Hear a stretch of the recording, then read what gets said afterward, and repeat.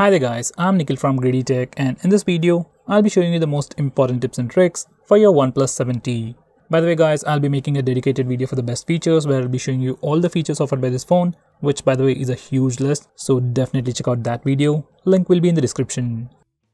Now with that said, first I want to start off with my favorite feature about this phone, that would be the new navigation gestures. By the way, this phone is running Android 10, so we got the new Android 10 based gestures to enable them, you need to go to settings and once you're in settings, select buttons and gestures.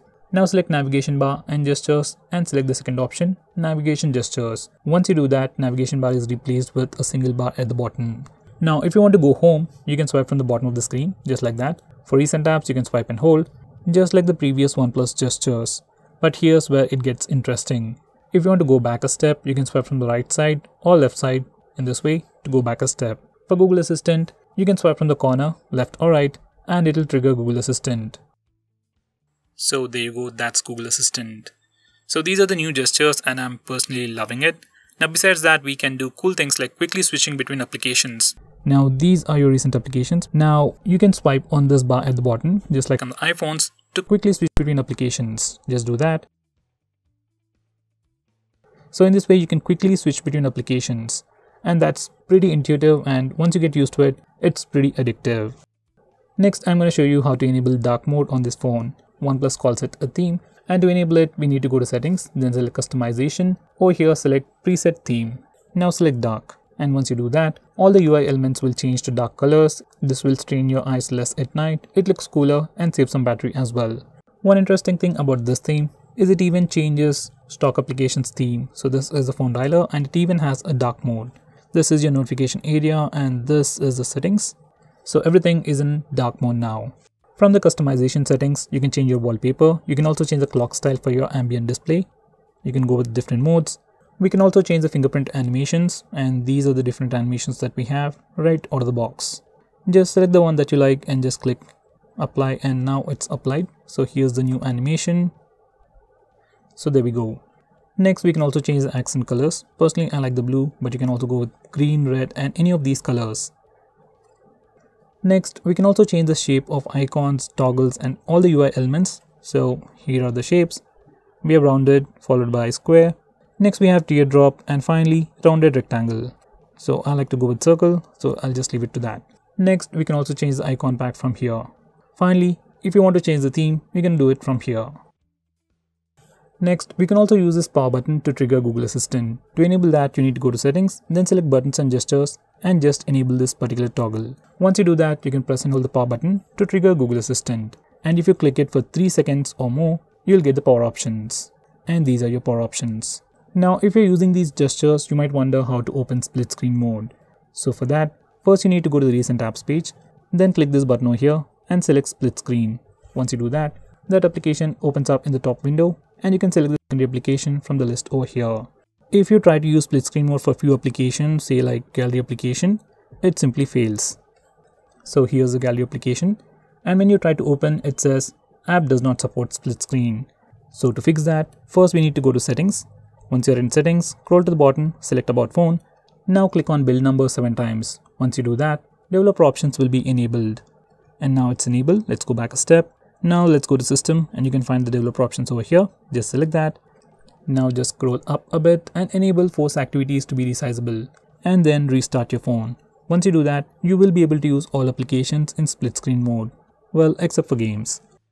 Next, I'm going to show you some quick shortcuts related to your camera application. So here's the camera application. This is the interface for the rear camera and over here we have a toggle to switch between the primary camera, wide angle camera and the telephoto lens. You can also switch between these modes using a pinch to zoom gesture. You can pinch in to switch to the telephoto lens and pinch out to switch to the wide angle camera. Next, we can also swipe left or right to change between all these modes. And by default, these are the only modes that are available on the top. But if you do a swipe up gesture, you get to see extra modes. On this phone, we also have a new feature called Super Macro Mode. You can enable it from here. And now, we can take macro shots with these three cameras. By the way, macro shots work really well with the wide angle camera. Next, if we go to settings, we have some interesting options. First, we have ultra-wide lens correction. When you take a picture using the ultra-wide angle lens, sides or edges are distorted. And if you enable this toggle, OnePlus tries to correct it a bit. Next, we have shutter sound. Now, every time you take a picture, you can hear that sound. For some reason, if you want to disable that, you just need to disable this toggle. Next, whenever you're taking a picture, if you're getting a watermark, just like on this phone, even for that, you need to go to settings and then select watermark. Then select shot on OnePlus watermark and disable this toggle. By the way, you can also add your own custom watermark, just in case if you're interested. Just write your name. And now let's give it a try. So here's the new picture and we get a different watermark. Shot on OnePlus by Greedy Tech, that's your name. Next, this phone also has Nightscape which allows us to take better pictures in low lighting conditions. And on this phone, we can use this mode on the primary camera and even on the wide angle lens, so that's pretty cool. Now this phone has a 48 megapixel primary camera, but by default it takes pictures in 12 megapixel. If you want to take 48 megapixel pictures, you need to take pictures in Pro mode. Just go to Pro mode and select this option over here and then select JPEG 48MP. Once you do that, you can take pictures in 48 megapixel resolution.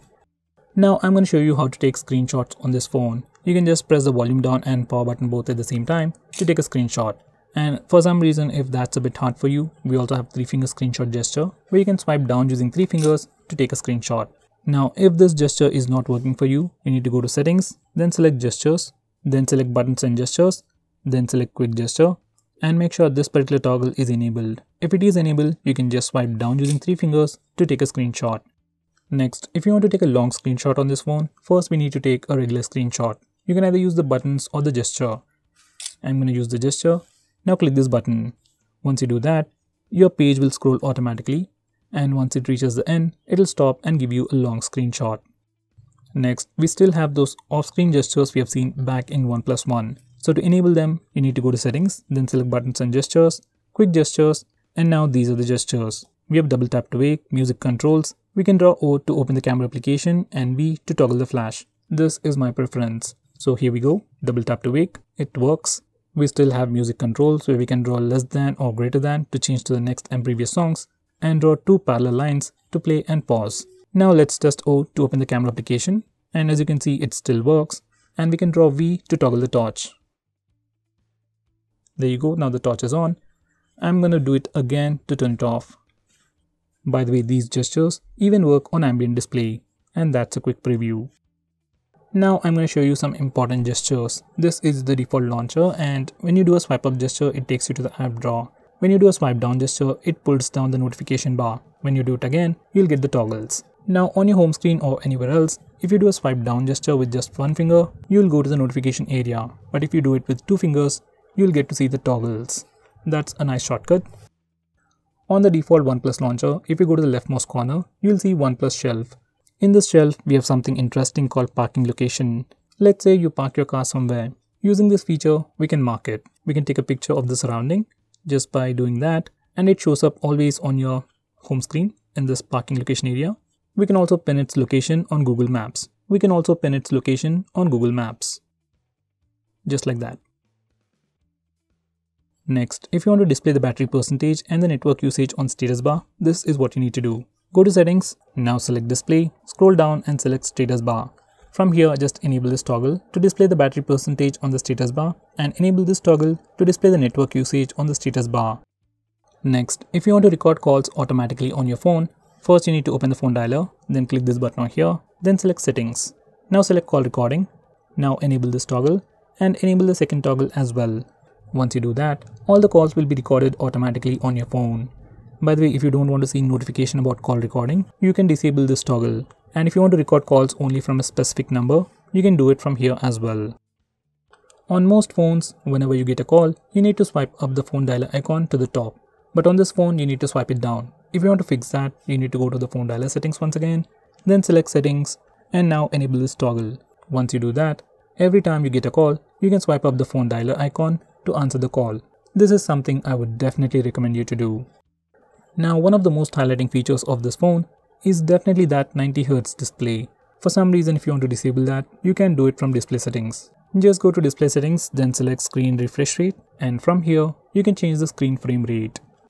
Now for the final tip, if you want to change your default launcher, browser or even your SMS application, this is what you need to do. Go to settings, once you're here, select apps and notification. Now select default apps. From here, you can change your default browser, default phone dialer, default launcher, default gallery application, default email application, and so on. This is one other thing I would definitely recommend you to do. So guys, these are all the most important tips and tricks for your OnePlus 7T. If I missed out on anything important, do let me know by commenting below this video and definitely check out my video on best feature. Link will be in the description. By the way guys, if you're planning to buy this phone, use the link in the description. It always helps the channel. If you want us to make any specific video, tweet out to us with the hashtag AskGreedyTech on Twitter and we will try to make it as soon as possible. I'm Nikhil from Greedy Tech signing off. Have a nice day.